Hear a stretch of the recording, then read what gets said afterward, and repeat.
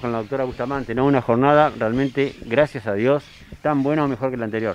Sí, Sergio, buenos días. Eh, realmente estamos súper contentas y súper agradecidas a toda la gente que, que, se acercó acá hasta el Salón Cultural para donar sangre, que como siempre lo decimos es un acto de amor al prójimo. Y hablando con las chicas del, del San Roque nos comunicaron que, que están felices porque realmente no tenían nada, mm. muy poco, casi nada, nada, nada de glóbulos rojos. Así que hoy fue realmente un éxito. La verdad que estamos felices, no sé si se los nota. Y con muchos chicos en ONCO, me decía recién la doctora. Eh, sí, la doctora Bustamante nos ha dicho que en el transcurso de esta semana y la semana anterior han ingresado varios chicos al San Roque, creo que hablaron de algo de 15, 16 chicos, o sea que es un montón. Eh, quienes hemos estado en esa situación sabemos que también es algo que por ahí se suele suceder, que no entra nadie o por ahí de golpe entran muchos chicos, ¿no?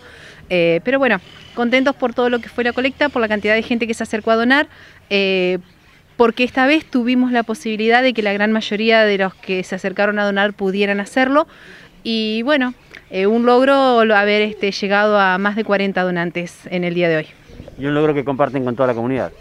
Sí, sí, sí, porque realmente es de, acá del pueblo y es una satisfacción, ya te digo, para, para el que viene a donar también, porque vienen con muchas ganas, eh, vienen con mucha expectativa, gracias a Dios se dio todo con normal, diríamos. Eh, y pensamos, con, estamos hablando con las chicas, que tal vez podemos hacerlo así cada tanto, suponete cada seis meses, una cosa así. Ellos eh, tienen pensado venir y repetir la, donación, diríamos. Dar una periodicidad en el tiempo, que sea o dos o tres veces al año. Exactamente. Eso es lo que hablábamos, tanto para los que donan ahora, por decirte que ya después de seis meses ellos ya están bien recuperados y todo y pueden volver a, hacer este gesto de, amor, diríamos. Así que bueno. Y ahora se reunieron con el intendente, recién las vi charlando. A ver, ¿qué, qué hablaron? Eh, bueno, le comentamos un poco eh, el tema de la donación, de la cantidad de gente que teníamos.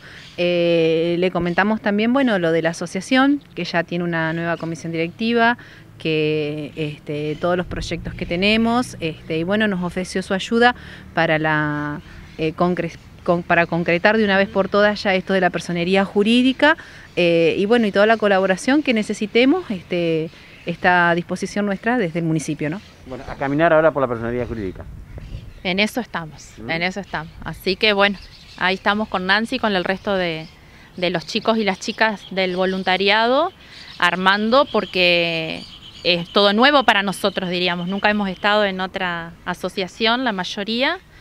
Así que bueno, estamos aprendiendo, pero re contentos. Y cuando se cierra una jornada como la de hoy, eh, te da más ganas para seguir, diría.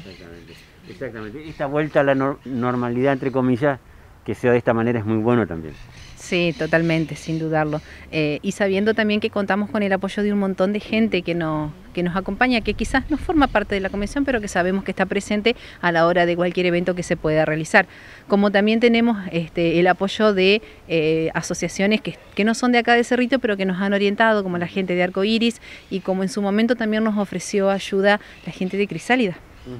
este, que bueno, Mirta Sotier por parte de Arco Iris y Laura Petrucci eh, por la Asociación de Crisálida eh, ofrecieron su ayuda para orientarnos más que nada en el tema de la personería jurídica. Bueno, chicas, disfruten de este hermoso día y disfruten de este gran logro. ¿eh? Bueno, gracias, Sergio, gracias a ustedes. Y a toda tu audiencia también.